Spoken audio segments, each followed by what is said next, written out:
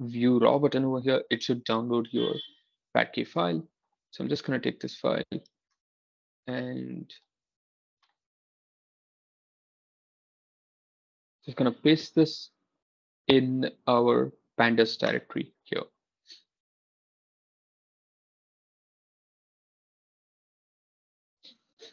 So I just need you to have this Parquet file with you so that we can uh, uh, read this to begin with. That's all I need you to have. Once you have this, we can take a look at uh, understanding and uh, learning how to read Parquet files.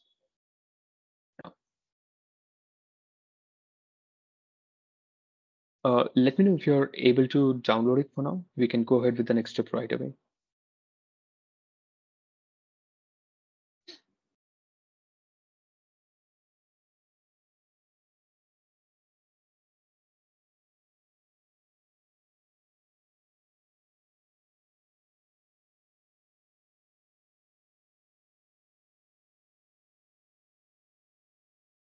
Right? Uh, so hopefully you have access to this, which means uh, we can go ahead, right? So yeah, let's go ahead.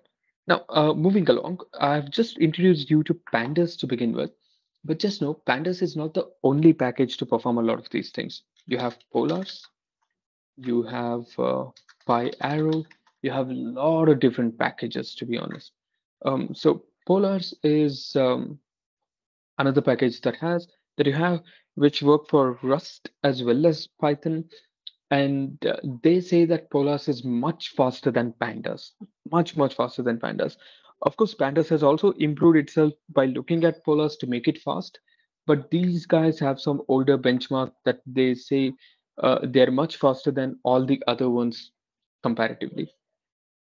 This is not the latest. Uh, this is slightly older, just for your reference. They're using Pandas 2.0.1 here. Current Pandas version uh, is much newer than 2.0.1. For reference, it's 2.1.2 rather. So just for our reference. But you can take a look at, you can see how they how fast they work. You can see um, how they're utilized the only difference, if you really want to go learn, let's say polars, for instance, is that in polars, only a few um, things are different compared to pandas. Most of the things in polars are very similar to pandas. You have the same things called series. You have the same things called uh, uh, data frame. Everything is same. So if you know pandas, you can easily work over polars. It's not difficult at all. You have exactly the same functions. Just a few functions here or there will be different, very few functions, but most of them are the same. So it's very easy to learn polars if you know pandas. So if you want to take a look at other libraries that can perform data analytics and you're wondering, uh, hey, there are too many. I want to try out a few things and I want to see which one works how or which one works better. Uh, you can compare and take a look at them and see which one works in what sort of ways. So that's one thing that you have. Apart from Polars, there's one more thing called PyArrow. PyArrow is available specifically, again, for Python, where you can again perform the same kind of operations. Particularly, PyArrow is again developed by Apache because Apache has Parquet files as well. So you use PyArrow to read Parquet files and work around them just for our reference. Um, so to read Parquet files with PyArrow, you can do that. To read Parquet files with pandas and work on top of pandas also you can. So these are just different libraries and most of them work on the same thing, to be honest. Most of them work on the same thing. It's just that you have some additional functionalities within each of these library if you want to take a look at it. So if you want to compare, take a look at it, get to know these better, I would highly suggest you to take a look at Pandas, Polars, PyArrow. These three are really good um, libraries to perform data analytics if you want to work on it. But anyway, uh, let's get back to our current case on how to read a Parquet file. This is the Parquet file that we have. You won't be able to read it as a text file because it's, of course, not a text content. It has its own uh, um, compressed and different format. So if you want to read it, let's take pandas dot read. In read, you have a Parquet file over here. And in this Parquet file, you can provide the name that is user data1.parquet. If you run this, let's see what has happened. Oh, yeah, it says uh, missing optional dependency PyArrow and missing optional dependency fast Parquet. So the idea here is that uh, Pandas uses PyArrow and fast Parquet in order to read uh, Parquet files because uh, let's face it, the default thing about Parquet is to use PyArrow. So if you have PyArrow, Pandas is going to use it in order to read this Parquet file. You don't have to use PyArrow by yourself. Pandas will do it internally just for our reference. So let's install.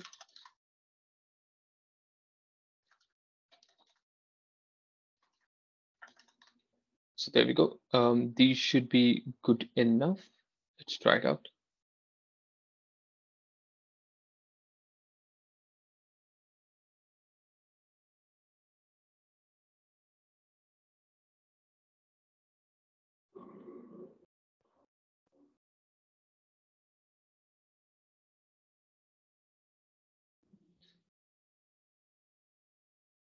So might be a small amount of time for us to install these packages and we should be able to work around it.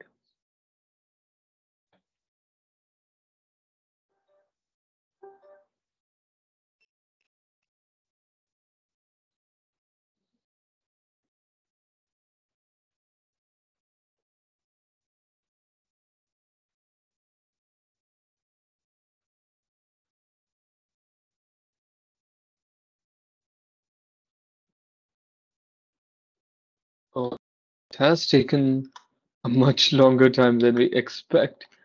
Um, so let me try stopping it and retrying it.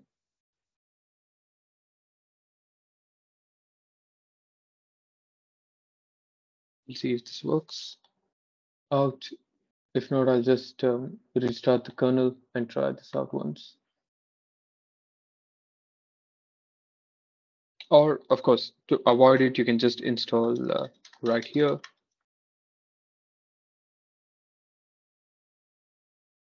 Let me just do that quickly. So in order to save time.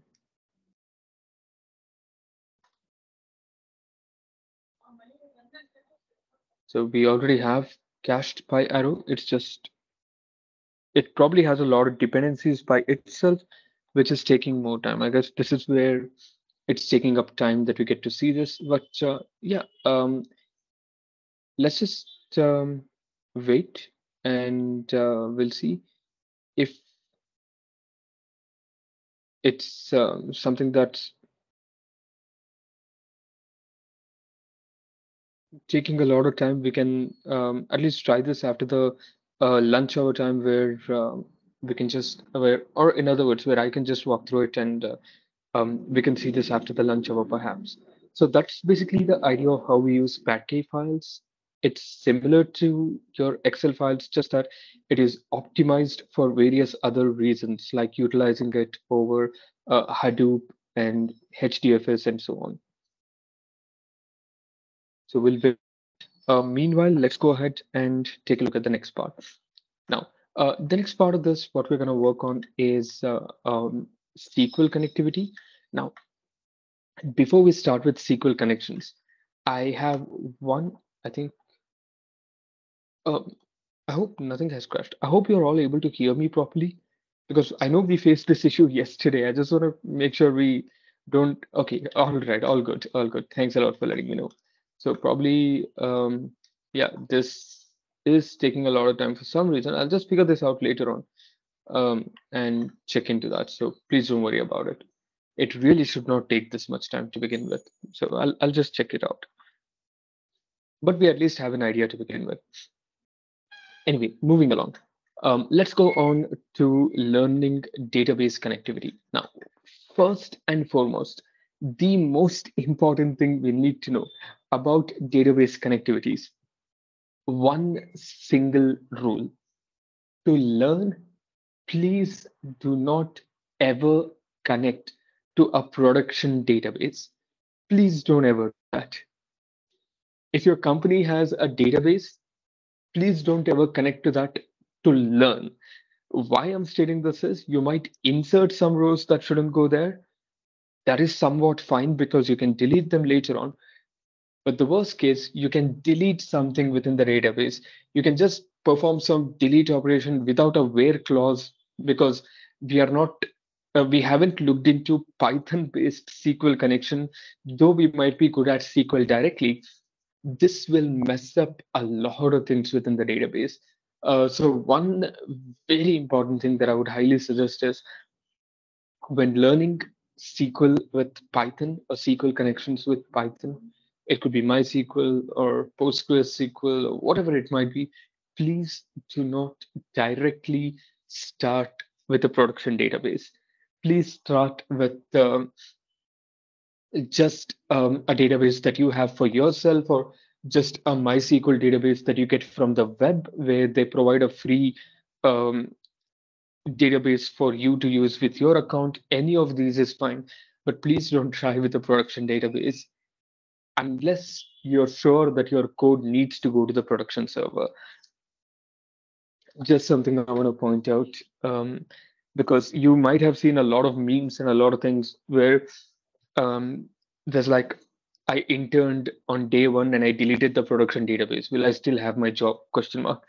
So yeah, um, these sort of things we get to see a lot. Uh, so please do not do that as a warning and a request.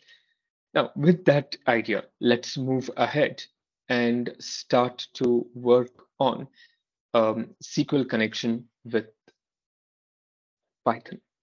Now, to begin with that, uh, you need to first install a particular package. I'll probably work on this later on.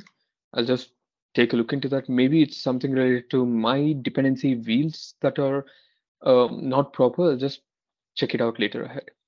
Anyway, let's uh, create a new folder to begin with.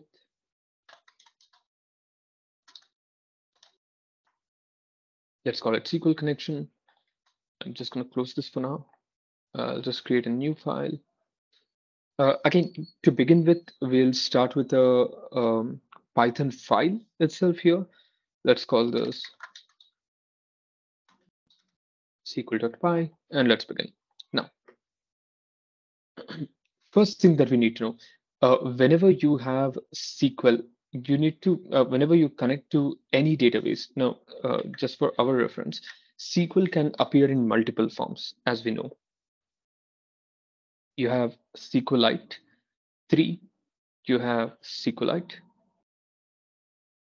you have SQL, um, particularly with uh, uh, MySQL connection.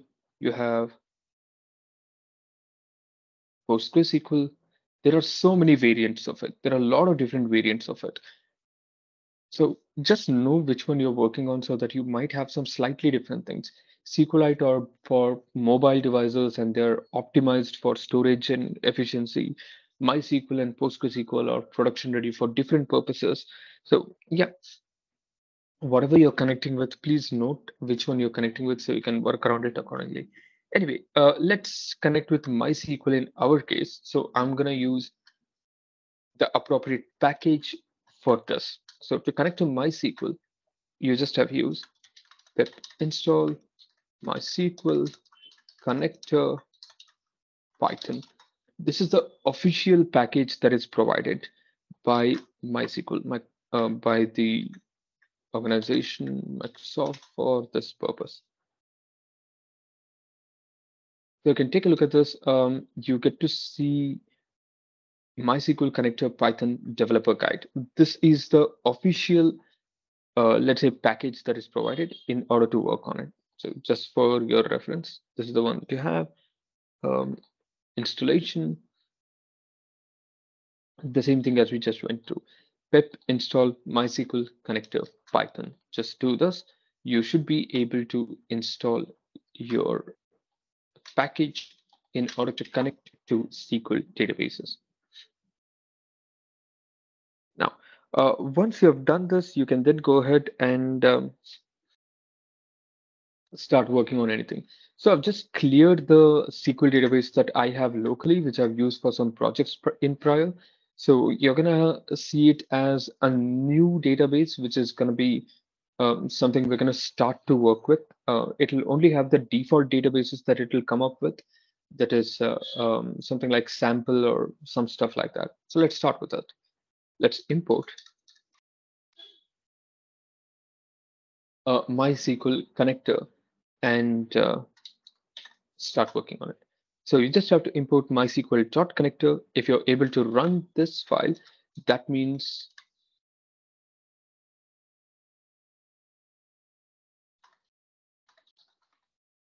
yeah. Oh, sorry.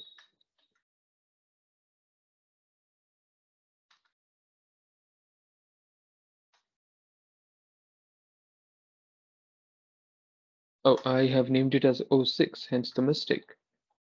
It should be the next in the series. Let's name it appropriately.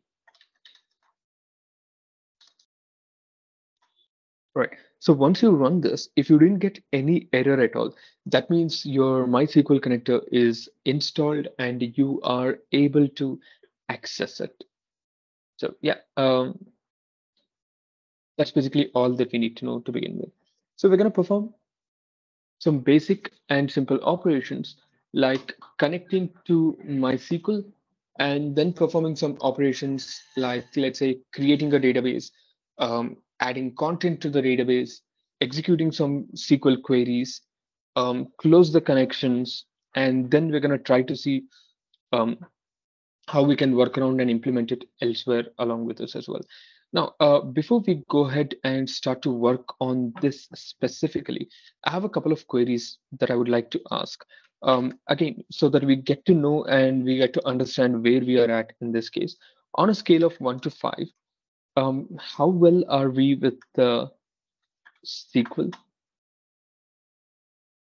This would help me to make sure that uh, um, I get to know we can directly work around with Python's part of it more and not worry about SQL connections more. But that's pretty awesome. That's fantastic. so five is pretty awesome. So that should be fairly good enough for us to directly connect ahead and uh, work through. So I don't think I have to explain about uh, why we shouldn't connect this to um, production to begin with on, on the first case. So you're well aware of this. So yeah, that's fantastic. So I'm, I'm glad to hear that. Uh, uh, I, I believe this is something that you do on uh, a regular basis in your work where you get to access this database and work on it. It's just that you haven't done it with Python. Um, I presume that is the case. So yeah, with that, uh, it's quite awesome in that case. So let's go ahead and uh, get started. Now, let's import MySQL.connector. You can either import MySQL.connector or specifically from MySQL.connector, you can import a couple of things like uh, um, connect and some, oh, I'm so sorry, import connect and a few other functions. But uh, in my case, I'm just gonna use import MySQL connector as SQL. This is what I'm gonna do. So let's begin. The first step is to connect to our database. Now or connect to our um, yeah any database. Let's start with that. Or connect to at least our server our mysql server where all the databases are hosted. So let's first connect to our server and then work around. Now you already know that when we work on connecting to databases or connecting to servers uh, we will have to generally um, use a username and a password to connect to it.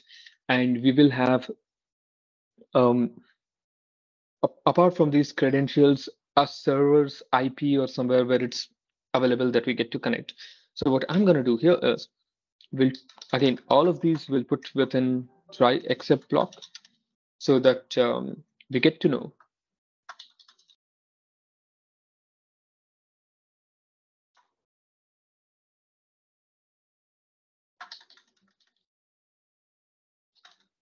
Yeah, so the main purpose is that we get to know uh, if any exception occurs, uh, what is that exception and what um, is the scenario where we failed, we get to know all of these to begin with. So that's the whole purpose. So let's connect something. We're just gonna connect and print whether our connection is working or not. That's all we need to do. So the basic thing we're going to do always is deal with exceptions because you never know what might happen. Your username or password might be wrong. Your connection might not happen because the server is not accessible. There are so many different things that might happen. Hence, we do this.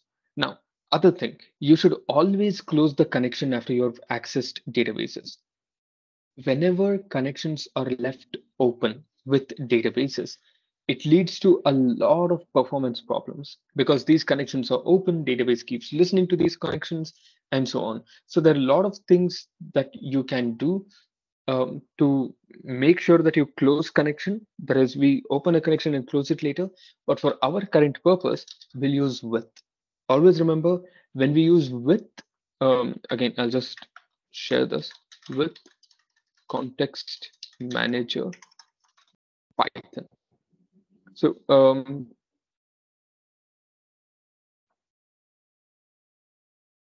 yeah, there we go. With is a context manager within Python. What it essentially does is it manages whatever variable you create here so that that connection is closed by the end by default. It doesn't let it be open. So uh, by default, when you open a connection, you need to close it manually, which we know. Uh, here, on the other hand, you don't need to do that. So that's something we know already, but I hadn't explained that it's a context manager. So I'm just working through that. With is a context manager that we have. Right, now let's go ahead and connect. With, let's start a connection. SQL dot, um, remember, I'm just importing this as SQL. SQL dot connect in lowercase, we're going to perform a connection. So this is the function that will create or get a MySQL connection object. It'll open a connection to a server and return a connection object. With that connection object, you can do whatever you want. Again, it says when any connection pooling arguments are given, in that case, whatever previously is available as a pooled connection, it'll return that only.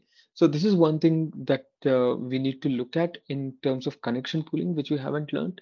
But uh, yeah, I'll walk through these probably later on. For now, uh, let's just take a look at this to begin with.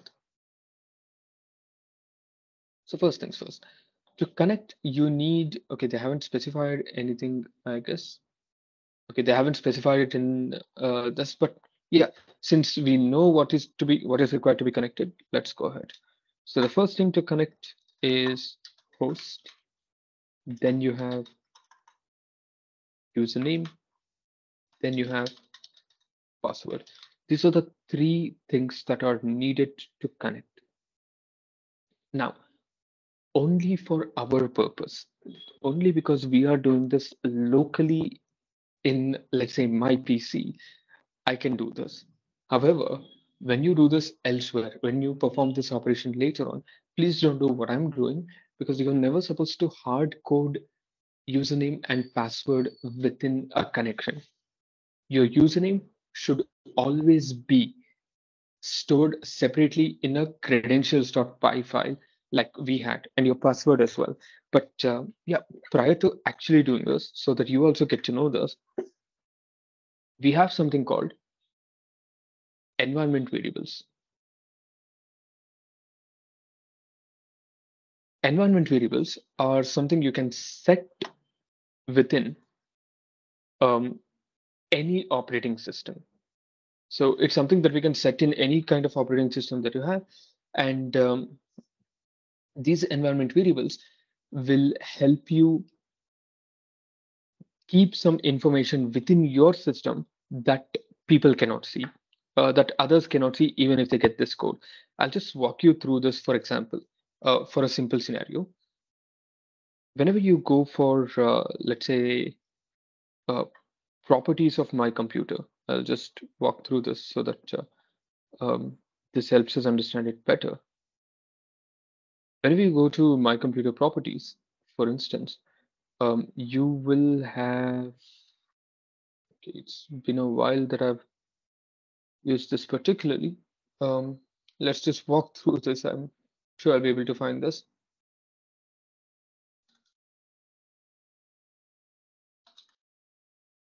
Yeah, there we go. Environment variables. Perfect. So you will be directly able to search and get environment variables. These are the variables that you have within your PC. You can add your own environment variable if you want. For example, if I want to add my own environment variable, I can do that either in the terminal, that is the command prompt, or I can do it here as well. So I'll just show you how to add one environment variable and use it in our code, and then I'm going to delete it. So I'll just set x. Set x is to set an environment variable. I'll call this as SQL underscore password. This is going to be the environment variable I want to set, and I will save the value as password. Done. Once you do this, success, it's a specified value was saved. Uh, so that means I should have it here now. Let me just go to environment variables again. There you go. You have SQL password as an environment variable and you get the value of it, which is password. And I'll set one more thing, set X SQL username as user. That's it. This is also done. So we have two new variables that we have set, SQL password and SQL username that are available here. Now, even if you share this code to others, share your code to others, these are not visible to anybody. These are visible only to you. How do I get these environment variables into code? And I'll, I'll just point this out. In reality, in real world, every single application that is there in the real world has all secrets, has all kind of credentials stored in environment variables separately. And your code will take from it so that no environment variable or sorry, no username or password, no nothing is available in code hard coded at all. It's a common thing that we follow. So just something I wanted to show you so that we can work on it. So I'm just going to comment this out. Before we go ahead with this, I'll just import OS and I'll just write here print of os.environ.get. So just take a look at this os.environ.get is a function that will retrieve an environment variable. The environment variable I want to retrieve is called SQL username. So let's get the SQL username and print it. So once you run this code, sorry, yeah, once you run this code, uh, it currently prints none, probably because of, for some reason, it's not able to access it. Okay for some reason it's not able to access it but i'll probably check that out up next why it's not able to access it. Because we have just created a variable called sql username and uh, we have a value for it called user. Um, i'll just check if there's a permission issue or why is it that we are unable to access. But this is how you basically get to access let's say an environment variable and get its value and that value will go to username and password here. That is what we're going to do in our case. But uh, prior to that, again, as requested, we have our uh, lunchtime now. So let's do one thing. Let's go ahead for our lunch break now. We'll uh, depart now and we'll join back by, I guess it's 12, if I'm not wrong. Yeah, so let's join back by 1 p.m. Oh, yeah, the Google Drive link. Sure, I'll share it.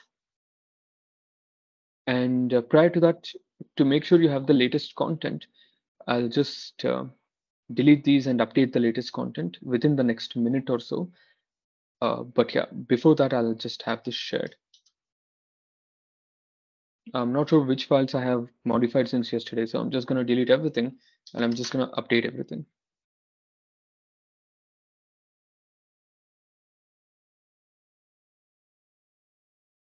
You will be able to access it here.